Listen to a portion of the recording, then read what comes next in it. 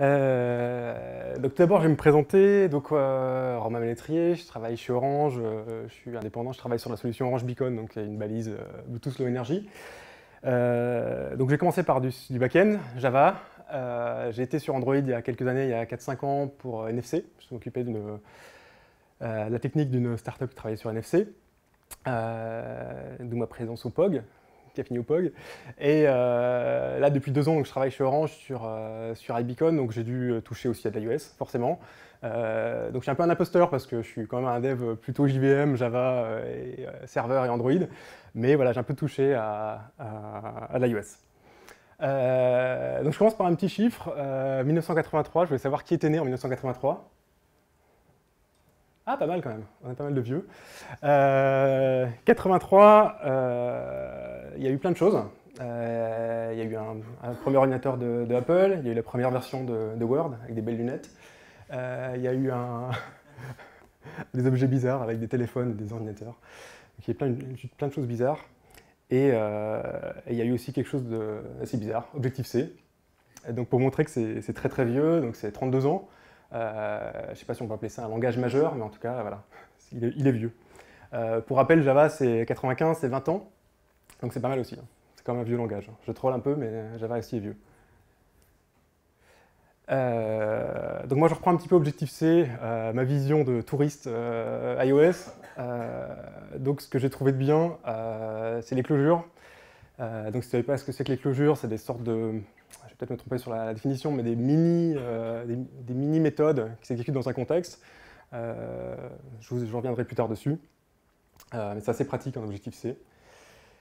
Le côté immutable, on déclare avec des NSArray si c'est si immutable. Par défaut, c'est immutable.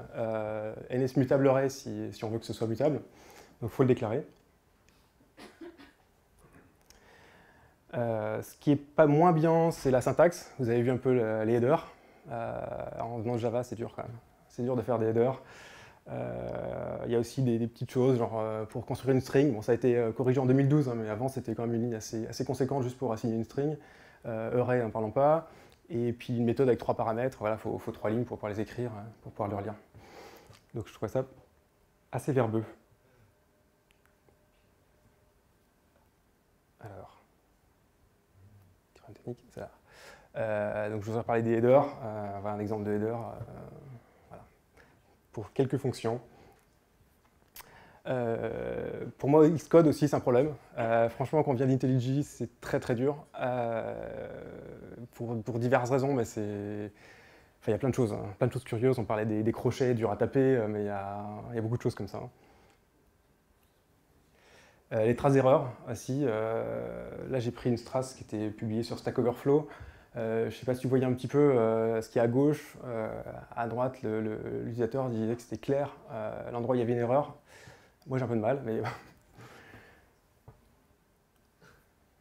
Voilà, et euh, donc j'arrive au sujet principal. Euh, 2014, euh, Apple a, proposé un nouveau langage euh, parce qu'en fait, Objective-C, c'est quand même des surcouches et des surcouches et des surcouches d'un vieux langage euh, qui a été amélioré au fil du temps, mais il y, avait quand même pas mal de choses à faire. Euh, donc 2014, il y a eu un, carrément un changement assez radical en disant euh, bah, on, on, abandonne, on abandonne, on n'abandonne pas, mais on, propose un nouveau langage pour développer des applications iOS. Donc c'est pas la voiture, c'est le même nom, c'est Petit Oiseau. Euh, pour vous montrer que c'est pas si éloigné quand même de Java, euh, il y a des petites choses différentes, genre les imports, on a parlé de UIKit, etc. Donc on importe plutôt des modules que des classes. Euh, donc c'est regroupé par module, un peu plus en logique. Les variables, les variables c'est pareil, ça, ça, ressemble beaucoup. Euh, on a juste un petit mot-clé let pour, pour, les, pour les constantes. Le type est optionnel quand c'est clair.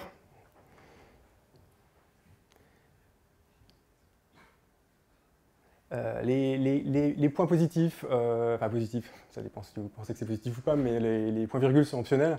Donc sur euh, le seul cas où c'est vraiment utile, c'est pour combiner plusieurs, euh, plusieurs sentences dans, un, dans, une même ligne. Euh, le support Unicode, mais ça maintenant on l'a fait partout.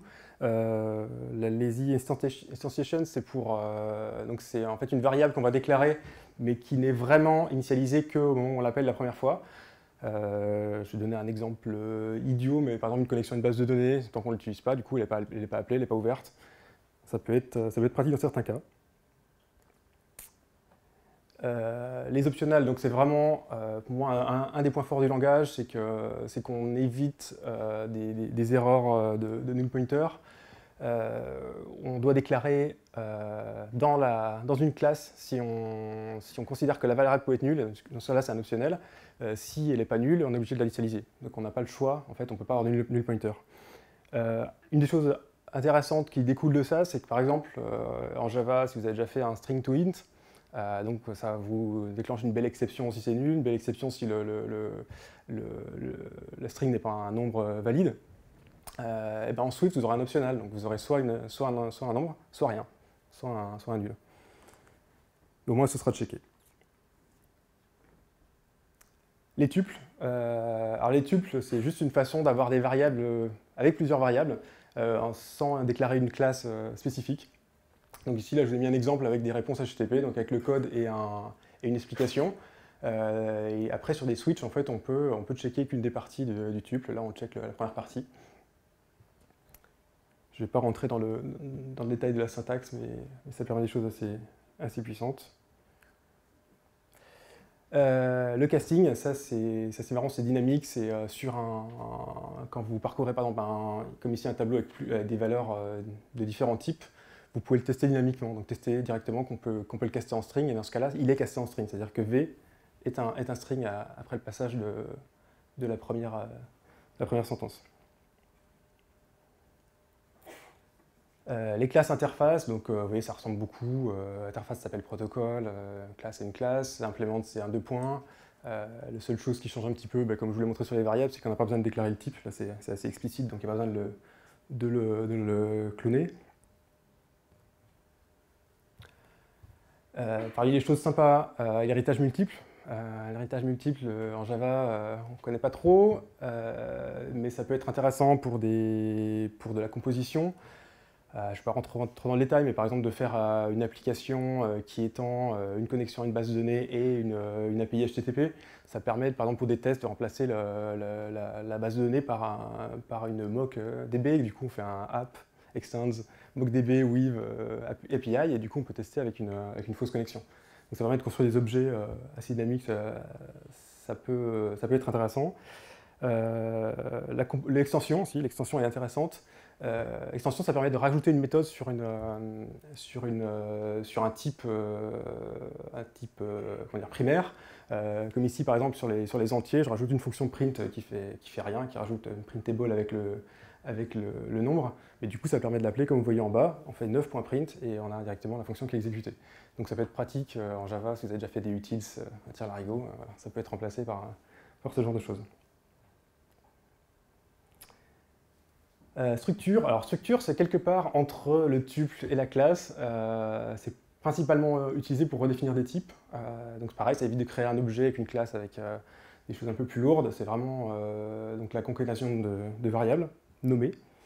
Donc voilà, on a vraiment tous ces outils-là, donc entre le, le, tuple, coordinate et la classe pour, pour définir des variables. Euh, les fonctions, bah, les fonctions euh, ça ressemble beaucoup. Hein. Le type est juste à la fin, mais euh, vous voyez que ça, ressemble beaucoup. Les, variables sont nommées quand même, ça c'est important. vous allez voir qu'après, on, peut, on peut explicitement appeler, appeler les variables avec leur nom. Donc les closures, là je vous ai montré un petit peu l'intérêt des closures ici. C'est donc c'est une fonction qu'on peut assigner à une variable en gros. ici, par exemple, la fonction la less 10, euh, et assigner une variable qui est myFilter, et du coup on peut euh, filtrer une liste avec cette variable-là, qui est une fonction qui va être appliquée sur tous les éléments. Donc ici on a 12, 1, 3, 5, ça rend 1, 3 parce qu'on cherche que les valeurs qui sont en dessous de 10. Euh, on peut l'appliquer aussi sur une fonction sur une map, donc pour transformer tous les objets d'un tableau ou d'une collection. Donc ça permet d'avoir des, syntaxes très très compactes pour faire des opérations répétitives en Java, je ne sais pas si vous avez déjà essayé de faire ça, mais c'est un peu plus, un peu plus verbeux. Quoi.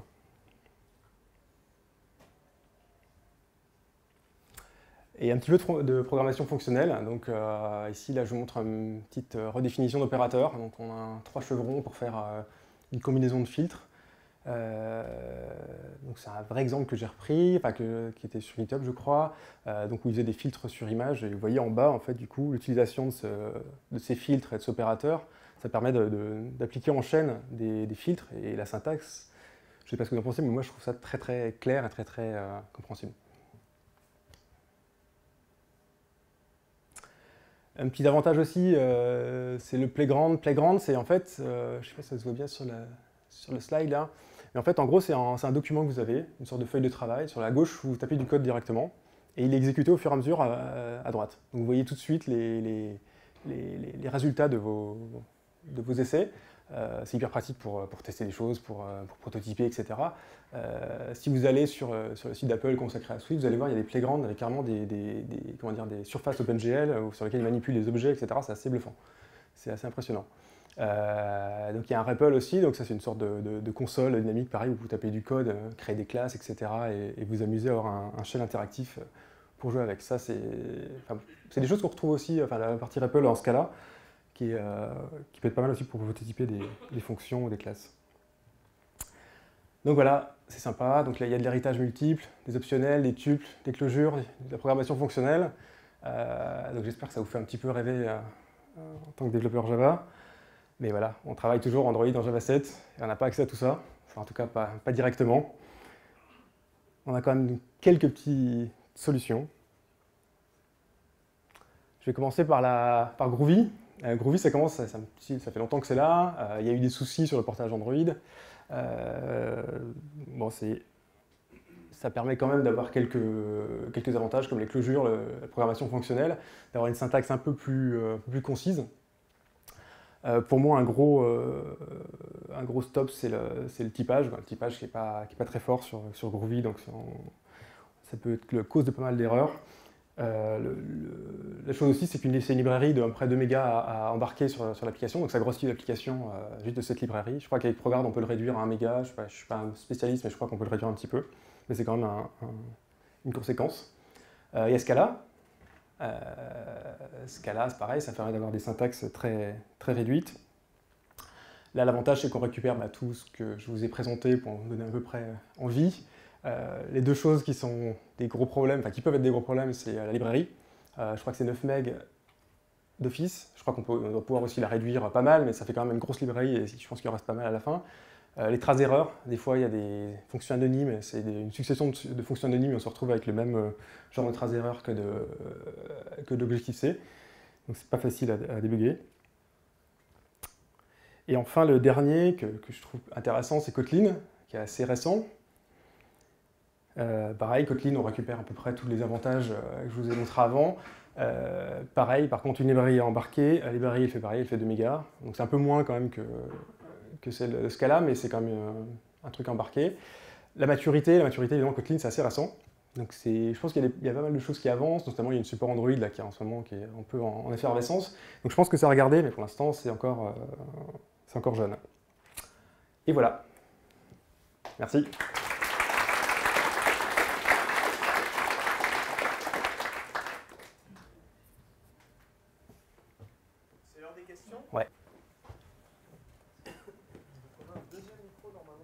On se le passe sinon Non Ouais. je sais pas. Donc on a un deuxième micro normalement quelque part. Euh, Stéphane normalement. Stéphane Où es-tu? On peut se le passer hein Ah tu es là. Tu, tu veux t'occuper du deuxième micro? Ah c'est pour les questions.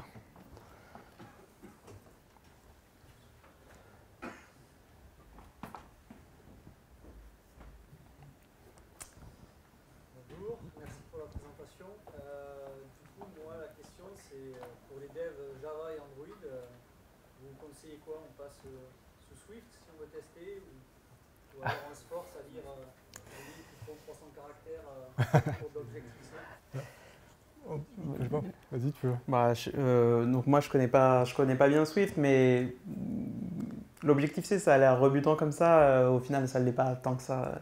Euh, c'est un, un, coup à prendre. C'est la lecture, c'est un coup à prendre. Mais une fois qu'on est habitué, enfin, je sais pas moi, au bout de, quelques temps de, de, lecture de code, ça va très vite. Juste pour, euh, pour dire, Swift, en fait, Swift, c'est un langage quand même assez récent, hein, donc ça, ça, évolue encore. Euh, il y a pas mal de librairies qui sont encore en objectif C, donc il faut faire des bindings pour l'utiliser en Swift. Donc en fait, euh, c'est bien si pour développer une appli pendant, à mon avis, un ou deux ans, pour développer une appli tout de suite, c'est quand même encore assez lourd. Par contre, il y a, voilà, il y a plein de, de, de- de choses qui vont dans le même sens. Quoi. Et sur, euh, sur Objective-C, je pense qu'il y a AppCode aussi, qui est euh, peut-être à mentionner, sur les, un IDE, qui est l'IDE de, de IntelliJ, qui permet aussi de, voilà, d'avoir les mêmes raccourcis que, que, euh, que Android Studio, donc ça permet d'aller plus vite sur Objective-C. Bonjour, donc euh, merci pour les deux présentations. Et j'avais juste une question, justement, ça rejoint un peu la, la première, mais c'était plus au niveau euh, pro. Est-ce que dans votre, dans votre travail, il y a déjà des projets qui passent sur Swift? Est-ce que c'est déjà envisagé? Euh, Et est-ce que vous voyez d'autres personnes éventuellement qui passeraient sur Swift? Alors moi dans mon travail, pas du tout. Euh, et je pense que ça mettra quelques temps à venir euh, avant qu'il y ait quelque chose qui se crée en, en Swift.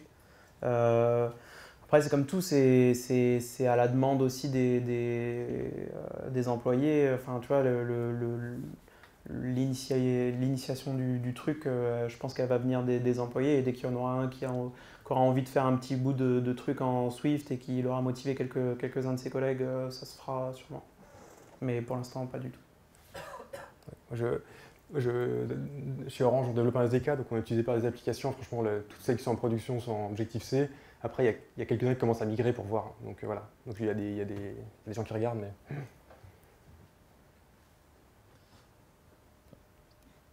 Bonsoir. Euh, quand vous énumériez les alternatives possibles à Java sous Android, euh, j'ai pas vu Clojure. Ouais. Alors, euh, est-ce qu'il n'y a pas de portage en cours? Enfin, c'est quoi le statut là-dessus? On a des infos? Non, non, c'est que j'ai- pas parlé de tout ce que je ne connaissais pas en, en particulier. Donc jour, non, j'ai pas, j'ai pas regardé ce qu'il y avait sur Android. Donc je sais pas si quelqu'un a la réponse, mais moi, je connais pas. Ok, Désolé. merci. Euh, donc moi j'ai une question un peu sur l'environnement. Euh, niveau outillage, euh, vous êtes aussi bien outillé que sur Java? Vous avez tout ce qu'il faut en CI, testing, tout ça? Ouais, je pense que de ce point de vue-là, on a vraiment pas mal d'outils pour, pour, faire, pour faire beaucoup de choses. En termes d'intégration continue, nous on le fait sous Jenkins aussi. Donc, faut juste avoir un Mac pour compiler l'appli. Faut mettre Jenkins sur un Mac.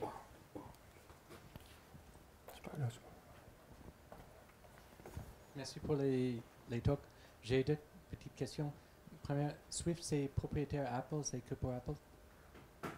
Euh, bonne question. Euh, je ne sais pas le statut du langage. Je sais pas, en fait, je sais pas exactement le- ce qu'ils ont fait du, du runtime et tout ça. Euh, pour l'instant, à ma connaissance, ça tourne que sur, euh, sur macOS et que euh, ça compile en fait sur, sur la LLVM. Tu Mm. vois peut-être mieux, Ouais. que moi, mais voilà. Donc, c'est dépendant du runtime en fait euh, d'Apple.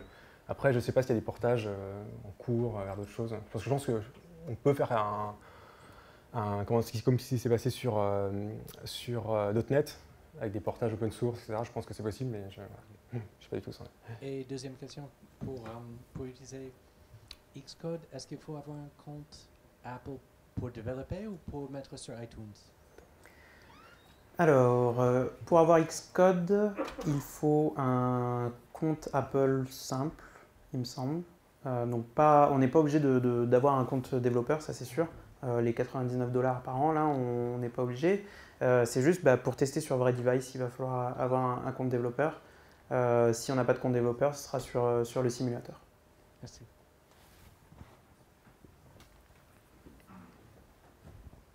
Oui, merci pour la présentation. Une petite question au niveau des différentes librairies open source. Je ne sais pas du tout ce qu'il y a sur euh, Objective-C ou Swift au niveau euh, enfin, du nombre ou de la qualité par rapport à Android.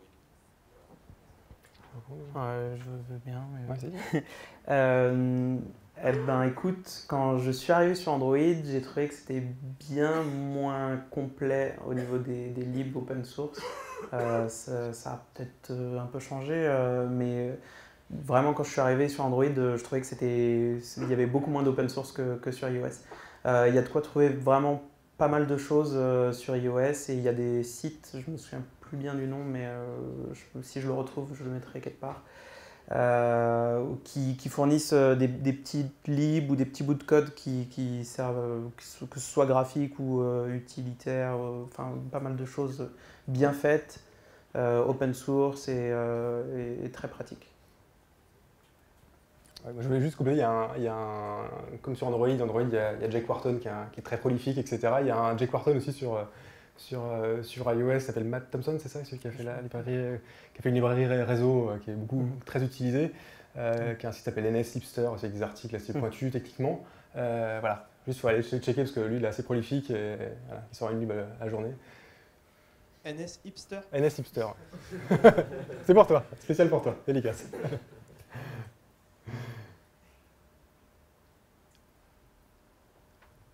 Bah, du coup, pendant que d'autres personnes. Ah, pardon, il y a quelqu'un. Bah, je vais poser une question pendant ce temps. Euh, du coup, tu parlais de logs tout à l'heure. Euh, les logs, ils t'affichent les logs de tout le système ou juste de ton application? Euh, c'est les logs uniquement de l'application. Il n'y a pas de log system à ma connaissance. Non, on n'a pas accès au log system. On a, par contre, on a des. Si jamais votre appli crash, euh, on a euh, des fichiers de crash et là, il me semble qu'il y a euh, donc déjà tous les threads et euh, je crois qu'on peut voir un petit peu de log system, mais pas. Enfin, c'est Apple quoi.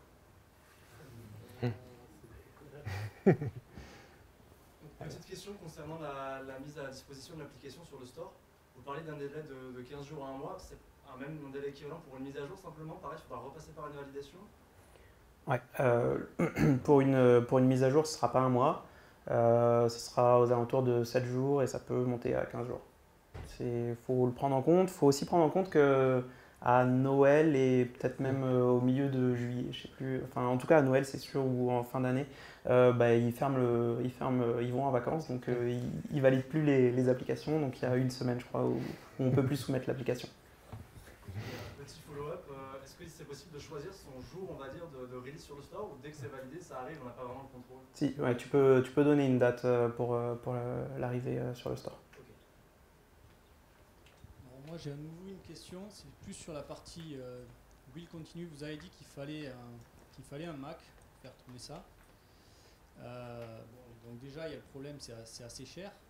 Je sais que les Mac mini ça va tourner autour de, de 500 euros les, les, les premiers, quoi, mais c'est pas très performant. Du coup, est-ce qu'il y a possibilité de, de faire tourner ça sur une vraie machine? Excusez-moi. Euh, dans une VM Bon, c'est peut-être interdit euh, par Apple, mais est-ce que c'est faisable? Dans une VM, je ne sais pas, mais je sais que c'est possible d'installer euh, macOS sur, sur, un, sur un PC. euh, je ne sais pas trop comment, comment faire, mais c'est possible d'installer macOS euh, sur une machine. Si Une tu veux répondre, machine. on peut couper le- la vidéo. Pardon Si tu veux vraiment répondre, on peut couper la vidéo. Non, je sais pas. Pour, pour la VM, je sais pas, mais euh, macOS X sur une, sur, une, sur une vraie machine, ça marche.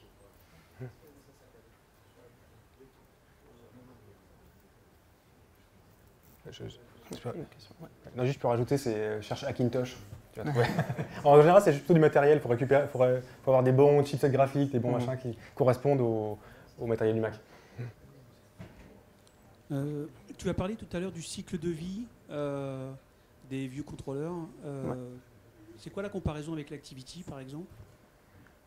Euh, alors, le cycle de vie, ça va être euh, peut-être euh, au maximum 6 callbacks qui vont être appelés, 6 fonctions qui vont être appelées.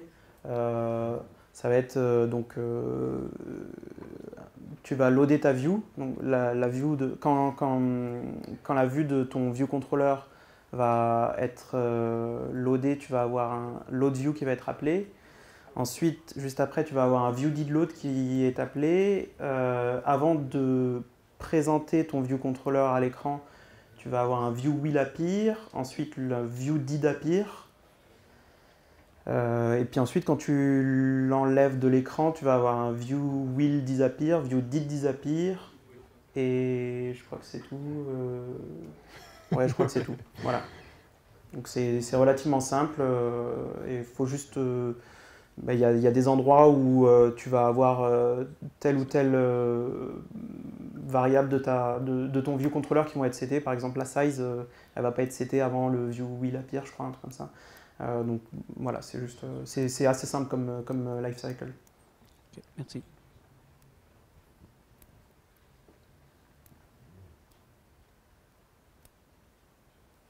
Je pense qu'on a fait le tour des questions du coup. Euh, bah, on vous remercie de nouveau, messieurs, c'était très intéressant.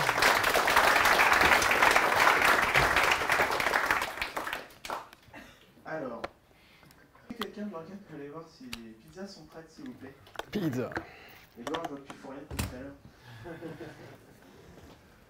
Euh, Bon, c'était une conf surprise, c'était la première fois qu'on n'annonce pas le sujet. J'espère qu'il n'y avait pas des purs devs à iOS ici qui venaient découvrir Android aujourd'hui.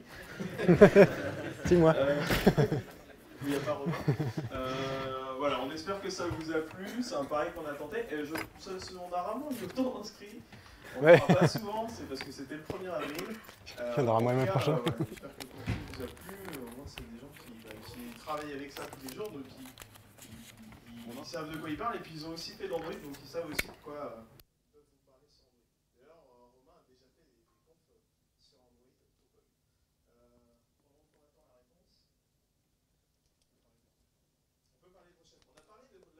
ils.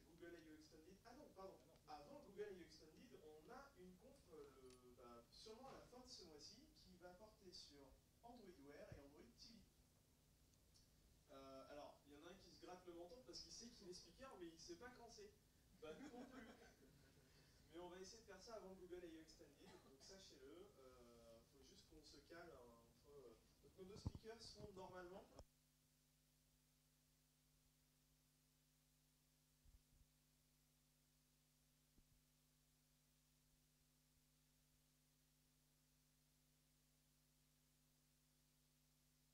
GDE, puisque Xavier est un nouveau GDE. Et, euh, et voilà. Donc, euh, tenez-vous à jour sur le meetup, euh, vous aurez toutes les informations. Edouard, est-ce que c'est bon? Eh bien, écoutez, bonne soirée tout le monde, à table.